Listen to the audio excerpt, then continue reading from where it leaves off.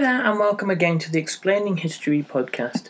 And today I'm going to continue with our exploration of the development of the SS and the camp system in Germany during the 1930s. And today we're going to look at the Totenkopf SS, the, the Death's Head, uh, perhaps the most notorious branch of the SS and one that most uh, listeners will be familiar with. Now, if you study um, Nazi Germany in school, the SS emerge as uh, significant characters in the kind of the, narrative of, say, in the UK GCSE history study.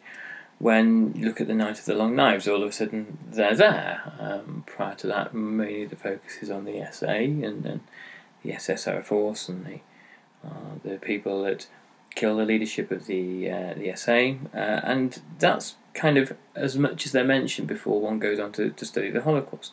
But of course, the, the development and the growth of the SS is um, a much more um, complicated story. So here we look at Nicholas Wachsmann again, and he writes The Death's Head SS expanded fast during the second half of the 1930s, growing from 1,987 men in January 1935 to 5,371 in January 1938. In each KL, each camp, these men were divided into two main groups. A select few, easily identified by the letter K on their uniforms, joined the so called commandant's staff and controlled most key aspects of the camps, including the prisoner compound itself. The rest belonged to the so called guard troop sentries, with one Death's Head battalion, later regiment, stationed at every concentration camp for men. The Guard troops were responsible for external, external security. They patrolled the camp perimeter and manned the watchtowers, and shot prisoners who crossed the sentry line. They also guarded prisoners working outside, offering the, them the opportunity for hands on violence. Although there were many points of contact between the guard troops and the commandant staff, the SS tried to maintain a division of duties. Normally, Sentries were not even permitted inside the camp compound. This separation between running a camp and guarding it, a separation already in place at camps like Dachau, became the basic organisational feature of the KL. So that's uh, that's interesting that there's this subdivision between um, K staff and guard staff um, and that there were strict rules and boundaries as to where people could go. If you listen to the previous podcast on the camps and the SS that I did, I think probably last week sometime, what uh, it what becomes clear is that uh, the the violence of the SS in the camps had to be strictly managed uh, and directed. It's not that the camp leadership reversed to violence; they reversed to disorder. So, it, the um, most of the uh, camp SS men um, were sentries uh, in the guard troop, and these would outnumber uh, the commandant staff uh, by a ratio of about 12 to 1 um, by 1937. So the, the K staff are really um, a, a, minority, and so these were um, really treasured and um, sought after posts within the, the SS. Um, the sentries went through a selection process, and this meant that they, um, the image of the SS and the, the kind of the myth of the SS was that they were the elite. So even the, the rank and file, um, unlike the SA, had to be uh, carefully selected. Um, all recruits obviously had to be physically healthy, uh, were at least five foot six inches, um, and they had to uh, articulate physically the um, ideals of Aryan manhood, of uh, masculinity and manliness uh, and and uh, physical uh, uh, physical fitness, and um, they had to be able to trace back their Aryan heritage to the 18th century. Uh, there was a, a roaring trade in Germany of genealogists who were able to investigate the family history and investigate racial purity going back many generations. Um, of course, these things were haphazard and um, these things could be gerrymandered and um, invented with the possibility of Jewish heritage sometimes being erased or the possibility of uh, some other kind of non Aryan uh, aspect to family life uh, being kind of erased from, from the, the, the family tree. The head of the uh, camp system, Theodor Eicke, who was um, Himmler's chief sadist um, in the uh, the SS, um, was uh, involved in planning the recruitment strategy for the Guard troop. And he was quite keen on recruiting them young. Um, there were 16 year olds that he um, uh, recruited, and that age group between 16 and 20 was ideal for his purposes after 20, he started to think that the um, the guard troop was getting uh, too old. Uh, obviously, this is uh, unlikely to be they were too physically old. I mean, um, it was probably that they were uh, slightly more becoming in their twenties, slightly more difficult to mould, to indoctrinate, to to shape. And Nicholas Wachsmann writes, the boys, as Himmler called them, were thought to be easily malleable into political soldiers. A more pragmatic motive, given the tight purse strings of the SS, was that single young men came cheap. Eicke's obsession with youth changed the camp SS, with the average age dropping to around 20 by 1938. Many new recruits had enrolled straight out of the Hitler Youth, but Eicke did not welcome all applicants. They were supposed to show passion for their chosen path and be eager to devote their lives to the SS. Here Eicke was drawing on the ideal of the volunteer soldier, a figure long associated in nationalist circles with, a, with dedication and self sacrifice.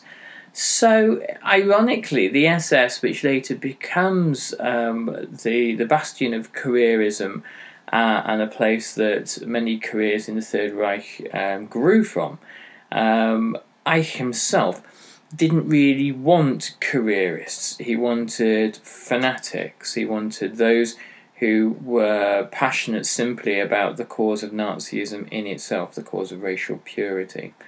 Um, how many of these he found was actually questionable, as he uh, found that the demand for new recruits was far outpaced um, the number of suitable recruits based on those criteria who are actually um, available. Somehow, however, Eicke managed to achieve his goal, perhaps by dropping standards or his own particularly perverse racial standards. And by the late 30s, um, most of the Camp SS were made up of teenagers, and most of the Camp SS um, were volunteers. The Death's Head had attracted lots of teenage boys and, and, and young men um, with the idea that it was a, an elite military unit. Now, the the fighting wing of the, the SS, the, the Waffen SS, um, during the Second World War, uh, that becomes one of the uh, the elite uh, arms of the German military. That might be true of them but the um, the mythology of the the Death's Head uh, SS actually far outweighed any kind of military prowess that they might have had. Um, recruitment material um, painted um, or created a kind of a, a, false parallel between the Death's Head uh, and uh, the army, and um, it, it, it implied that uh, the uh, recruits would be carrying out special secret uh, missions for the Fuhrer, um, which kind of allows, in the minds of young German boys, the kind of fantasy of, of playing at soldiers. Um, the reality was that um, these op- these things didn't really happen in the life of uh, SS men. They were they were uh, if they were in the, their death's head, they were camp guards, uh, and later um, participants in war crimes and uh, in the Holocaust. Um, which perhaps was when we're talking about secret missions for the Fuhrer, that might have been actually what really was being implied. The camp side of the um, this advertising was never mentioned. Uh, perhaps because the idea of, of being a camp guard is less attractive, um, because, perhaps because there were, even for recruits into the SS, um, moral questions that would have to be raised about camp guard duties, and moral questions which fly out of the window once one's actually doing the job and being indoctrinated by people like Theodore Eicke, but moral questions nonetheless. So these things are are, are brushed under the carpet.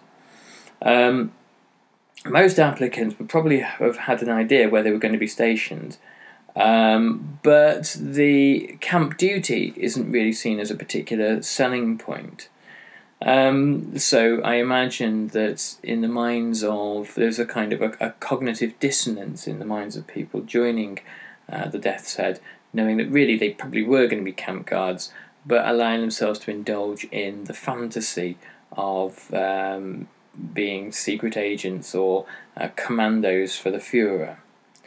The, the training of recruits, uh, which involved parades and marches, obstacle courses, and weapons exercises, was, was hard, it was difficult.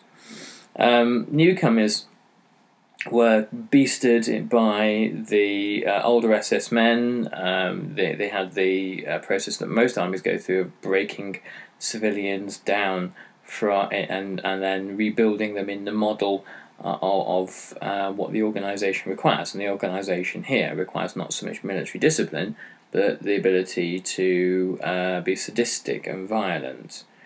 Um, many of the uh, SS men, the older officers, were veterans of the First World War, um, and they unleashed their frustrations and their resentments and their bitterness and their anger and their sadism on new recruits. Um, they drilled us, uh, one SS man, a man later recalled, uh, till we howled with rage. Um, the uh, deliberate kind of brutalization of the um, SS recruits was uh, a way of storing up in them um, a, a violence that which could then be uh, unleashed upon the people that they um, uh, that, that, that they controlled. Um, there was a way of weeding out the weak men, those who would be unwilling or unable to um, carry out uh, acts of sadism, and there were those who would break down, who would uh, have, have physical or emotional collapses. Um, and they had um, were kind of got rid of after three months of, of probationary service. There were those who um, actually took to um, the uh, military um, brutality um, and saw it as an opportunity to demonstrate their toughness.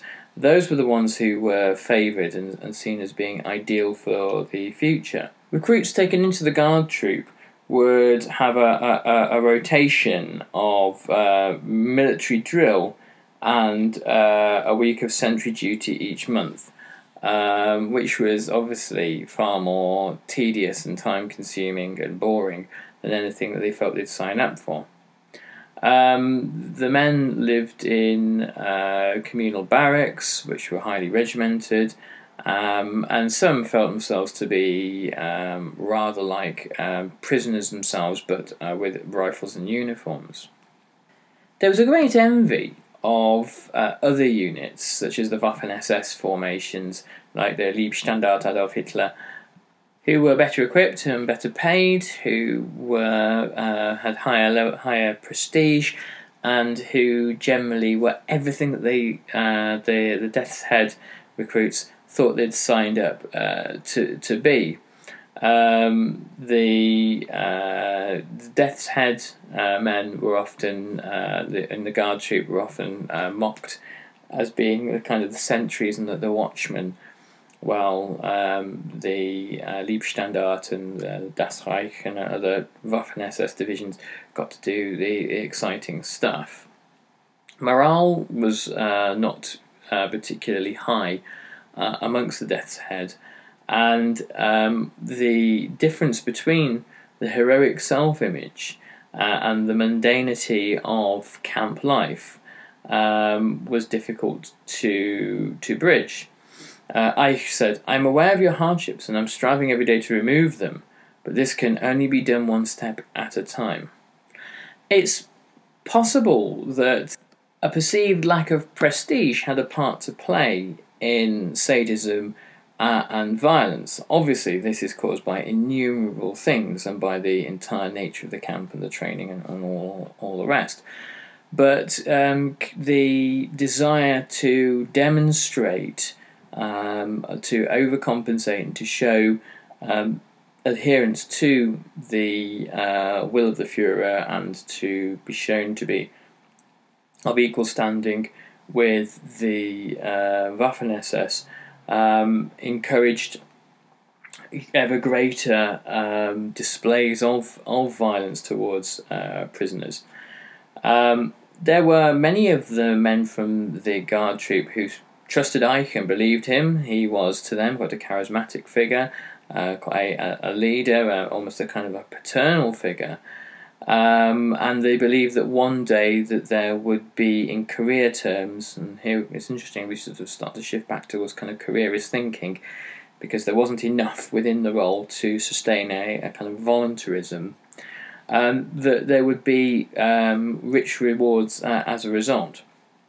The Camp SS did offer advancement towards um, better work and more um, prestigious work um, and there were few other places in the SS um, that um, careers could develop um, quite as quickly, especially if, the, if, if one's education was, was fairly minor.